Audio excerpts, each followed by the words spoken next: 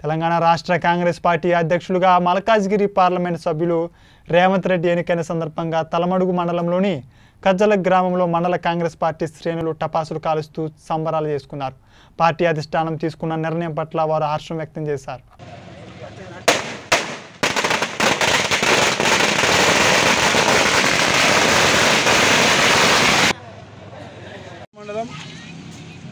రాజకీయ చైతన్యమైన గ్రామం కజ్జల గ్రామం.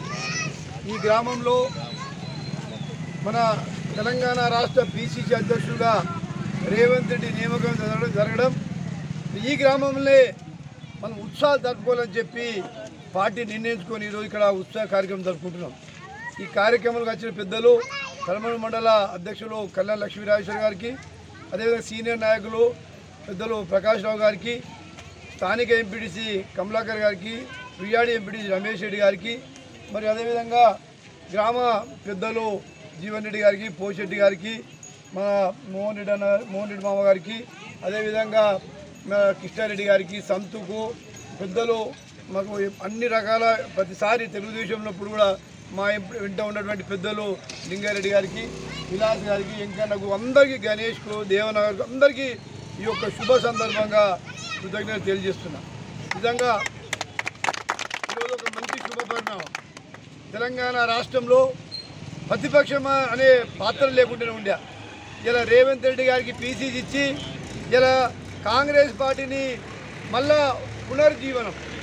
అయితే కాంగ్రెస్ పార్టీకి ఒక భవిష్యత్తు ఇచ్చింది సోనియా గాంధీ గారికి ప్రత్యేకంగా ధన్యవాదాలు తెలియజేస్తూ రేవంత్ రెడ్డి గారు మరి గత ఎంపీగా ఎమ్మెల్యేగా ఎన్నో సేవలు చేసి ఒక డైనమిక్ ఒక మ- తెలంగాణలో ఒక మంచి నాయకుడిగా పేరున్న వ్యక్తి. అటువంటి వ్యక్తికి పీసీసీ ఇచ్చిన ఇవ్వడం చాలా సంతోషం. భవిష్యత్తులో కాంగ్రెస్ పార్టీ అధికారం రావడానికి ఇది ఒక శుభ పార్లమెంట్ చెప్పి తెలియజేస్తూ మరి మీ అందరికీ తెలుసు ఈ తెలంగాణ ఇచ్చింది తెలంగాణ తల్లి సోనియా గాంధీ. సోనియా గాంధీ గారు తెలంగాణ ఇవ్వడి తెలంగాణ రాకపోతుండే. ఆ రోజు పార్లమెంట్లో ప్రతిపక్ష పార్టీలు ఆంధ్ర ఎంపీలు అందరు కలిసి పార్లమెంటులో గ్యాస్ ఉపయోగించారు గ్యాస్ గ్యాస్ ఉపయోగించి తాళాలేసి తలుపులు పెట్టి తెలంగాణ ఇచ్చి సోనియా గాంధీ. అందరు మీ అందరికి తెలుసు. ఇలా ఆ- తెలంగాణ తల్లి ఎవరు అంటే మన సోనియా గాంధీ గారు. మరి గతంలో కాంగ్రెస్ పార్టీ అధికారంలో అప్పుడు ప్రతి వ్యక్తికి ఇల్లు ఇవ్వడం జరిగింది. అడిగిన వ్యక్తికి ఇల్లు అడిగిన వ్యక్తికి పెన్షను అడిగిన వ్యక్తికి ఇలా రుణమాఫీ కూడా కాంగ్రెస్ హయాంలో అయింది. ఇలా ఉచిత కరెంటు కూడా కాంగ్రెస్ హయాంలో ఇచ్చిండు ఇట్లా చూస్తే ఎన్నో కార్యక్రమాలు కాంగ్రెస్ పార్టీ ముఖ్యంగా బడుగు బలైన వారికి ఎస్సీ ఎస్టీకి అయితే ఈ రోజు కూడా ఎస్సీ అడగట్లో పాత పెద్ద మనుషులు మాకు ఇందిరాగాంధీ దేవత ఉంటుంది ఆ ఇందిరాగాంధీ జమాన్లో ఎందరో మందికి మిగులు భూములు ఇచ్చిన ఘనత కూడా కాంగ్రెస్ పార్టీ.